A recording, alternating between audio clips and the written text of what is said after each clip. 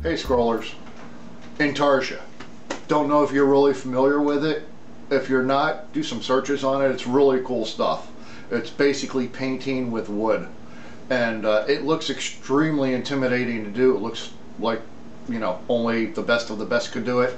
But that's really not the case. I mean, when I first started Intarsia, which it took me a while to actually start doing Intarsia because I was intimidated by it. I didn't think there was any way I could actually make something so nice, but it's really not that difficult. And uh, I want to show you just how easy it actually is. You don't have to have tons and tons of fancy sanding equipment, which is kind of a myth that's out there. You can do it with some basic sanding equipment and a scroll saw. Of course, you got to have a scroll saw. It'd be kind of difficult to do without a scroll saw. But anyway, we're going to do this little seashell project. It's very basic, very simple, but it gives you all the aspects that you're going to need to do Intarsia. Now, I do Intarsia my own way. I do it a lot different than most other people out there. If you do it a different way, it's perfectly fine. Nothing to worry about. You just keep doing it your way. But this is the way I do it. I find it extremely easy and it works for me. So I just wanted to show everybody that there are different ways of doing things. So anyway, we're going to start with the seashell, this one right here. I had to turn this into six videos because it's just too much information to try to cover in one video so I split it into six parts that way you can watch it in your leisure and hopefully you'll get something out of it and actually if you've never tried Intarsia hopefully you'll try it out after this video and if you already do Intarsia maybe you might pick something up here and there. So anyway hope you enjoy it and let's get busy. The first thing I like to do is secure my pattern to of my work surface. This happens to be the top of my workbench but honestly you could do this to make it portable for people that don't have a nice big spot and need to move it around.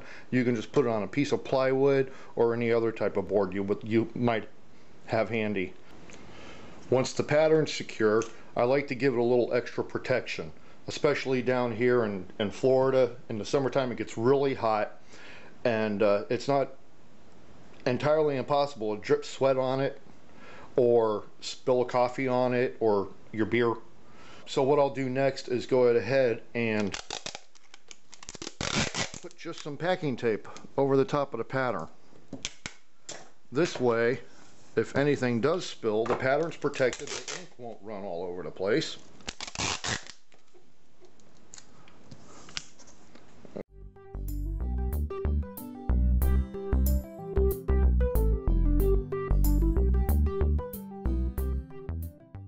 Okay, now that it's protected, there's a few other reasons why I do this.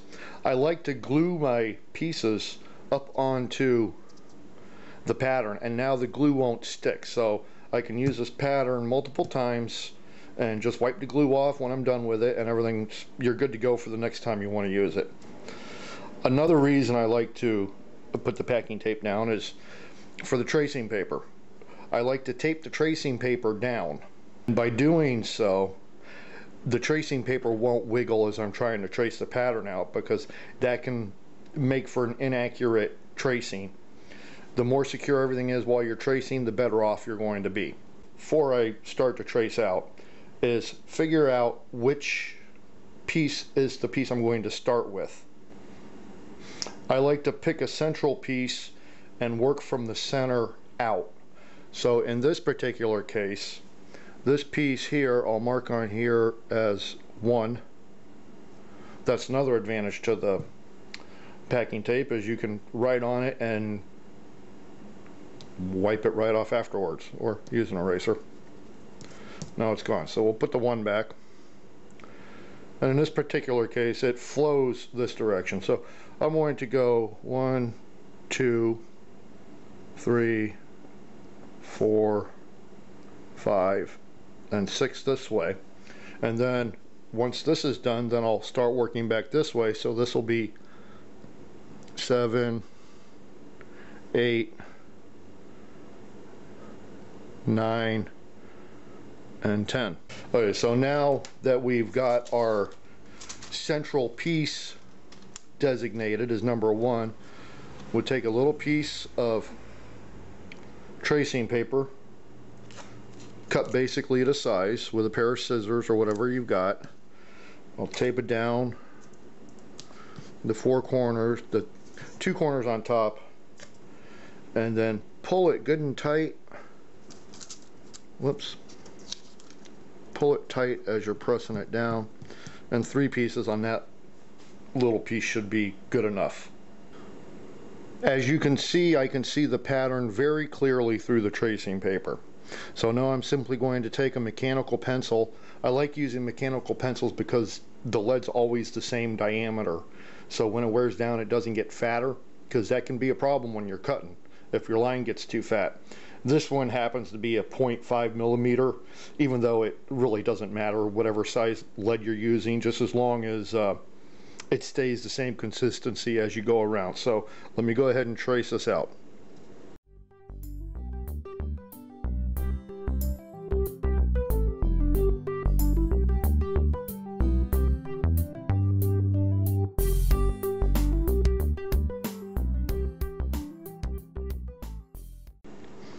after tracing the piece I do like to put the direction arrow of the grain on the pattern so that I don't have to come back and keep looking at the main pattern.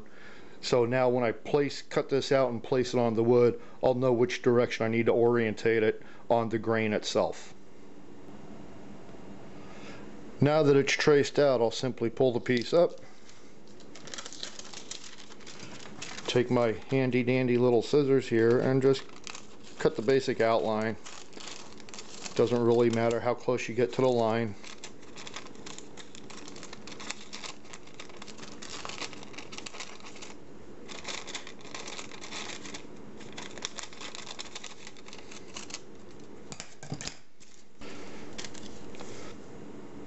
Now as you can see we have our first piece of tracing paper cut out to put on our first piece of wood.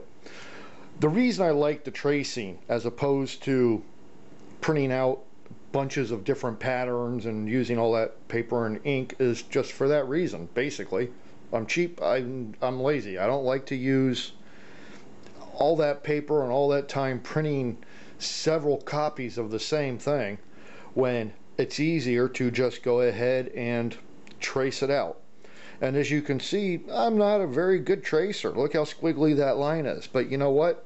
When it comes time to cutting, I'm not going to cut it crooked. I'm not going to follow all these little squiggly lines. I'm just going to go ahead and follow the line, cut it, and it'll be nice and straight. And that'll make my next cut much more accurate. And you'll see that as we progress. Well, I must apologize for that being really like boring, but uh, it actually is pretty important to starting off right. If you, you have your pattern properly protected and and you do some proper tracing, makes this whole thing much easier. So sorry I had to put you through that. I promise they get better. The rest of them do get better. I made these videos over a year ago and I'm just now finally getting down to actually re-editing them and putting them online. So I apologize for some of the footage not being real good.